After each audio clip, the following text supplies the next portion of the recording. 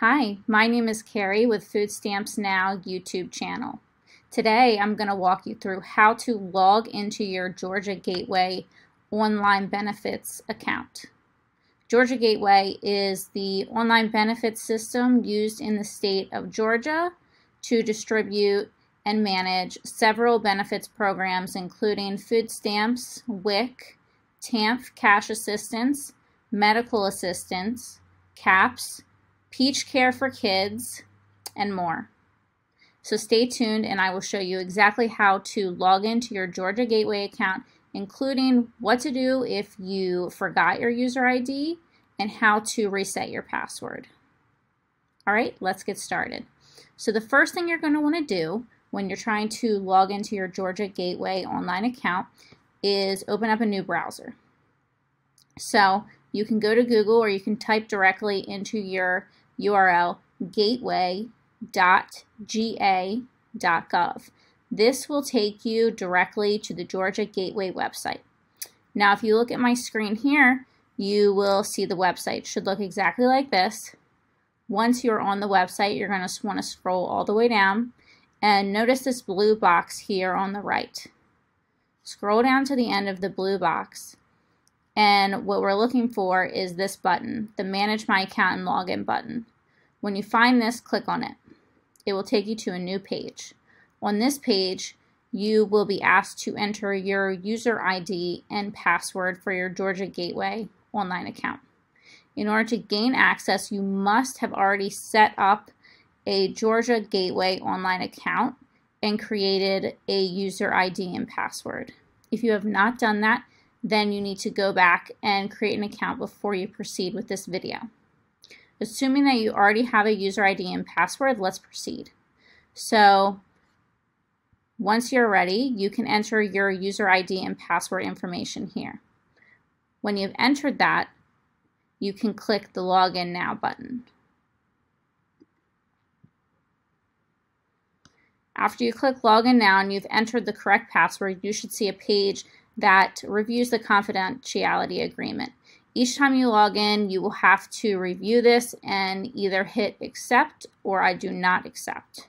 In this case, I'm going to hit I accept so that I can proceed to my account homepage. Once you are in your account homepage, you'll see several different options. Now, the Georgia Gateway account can be used for several different actions. These include applying for benefits, managing your benefits, checking your benefits. That's including when you will receive them, how much you will receive, um, submitting new information, such as if there is a change to your household income, if there's a change to the number of members in your household, those kind of things. Um, and then you can also use Georgia Gateway to renew your benefits, upload doc documentation, and then receive any notification or notices directly from Georgia Gateway.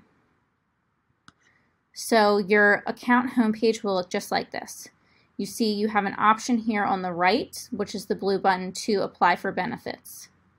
We can click on that and you can proceed through the application process. I'm not going to walk through all of this right now, but you can see from Georgia Gateway you're able to apply for medical assistance, child care and parent services, food stamps, cash assistance, and then WIC. We're just going to go back so I can show you if it lets me.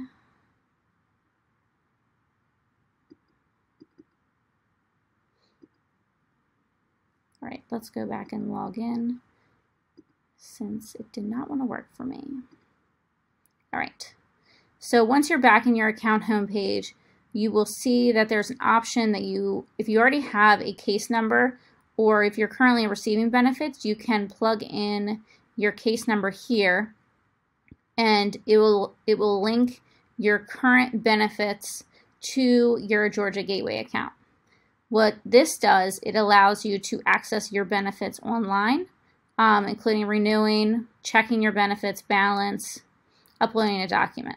So in order to link your case to your Georgia Gateway account, you will need your date of birth, your social security number, and your client ID in order to continue.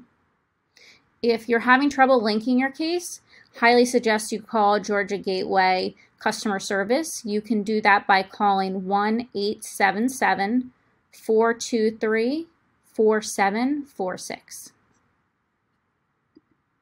Let's cancel this. All right, so we're, now we're back to our account homepage. So if you have any pending application for benefits, if you scroll down, you'll see that down here in this box that says status of application. You'll see that I submitted an application here. You can see the date and then it'll have the program applied for, uploaded documentation. It basically just gives you a status and an update on your benefits application. Now that's all I can really show you inside the account. I'm going to go back out and now I'm going to show you what to do if you have forgotten your user ID or your password for Georgia Gateway. So let's log out. All right, so now we're back to the Georgia Gateway homepage. When you're on this homepage, you want to scroll back down and find the Manage My Account and Login button. So you're going to want to click this again, and you'll be taken back to this same login page. If you have forgotten your user ID, you will see there's a link here right at the bottom of the exit button. Click this forgot user ID link. In order to ret retrieve your user ID, you have to enter several pieces of information, so make sure you have this. And it also must be linked to your Georgia Gateway account. You'll be asked to enter your email address, phone number, and security questions. You will also have to enter your first name and your last name. You have to enter this information in order to retrieve your user ID.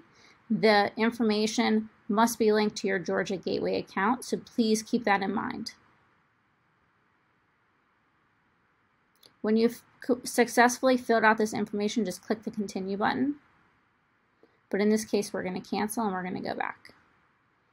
Now, if you've forgotten your password, you're going to click this link right below the exit button that says forgot password. For this, you will enter your user ID and you will search for your user ID in the system. So I plugged in my user ID, I pr press search, and you're given a few options to reset your password. You can either do that through email or you can do that by answering a set of security questions. You can select you can select which you would prefer and then proceed that way. If you choose email, you must have access to the email that's on file with your Georgia Gateway account. If you no longer have access to that email, I suggest you use the security questions in order to be approved to reset your password. Once you pass this verification, you can then create a new password and log into your Georgia Gateway account.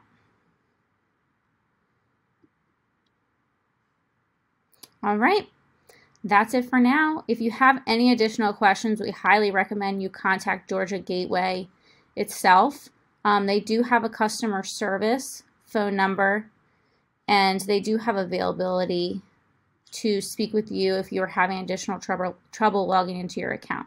As always, if you would like more videos like this or if you found it helpful, please subscribe to our YouTube channel. We really appreciate the support so that we can create more videos for you. If you have any questions, I'm happy to help answer as much as I possibly can in the comments section. Please let us know if there's any other videos you would like to cover like us to cover regarding Georgia food stamps. In the meantime, we'll see you later. Thank you so much for watching. Bye.